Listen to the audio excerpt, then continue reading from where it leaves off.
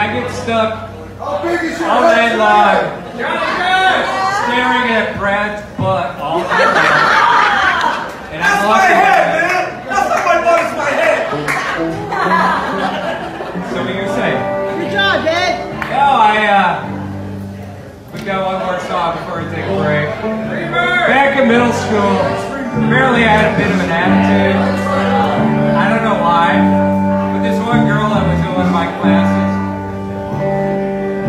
I don't know her name, I didn't know it then, I didn't care then, I don't care now. She said, you know what? You're kind of stuck up. And I said, no, I'm not. I don't say I'm half as great as I really am.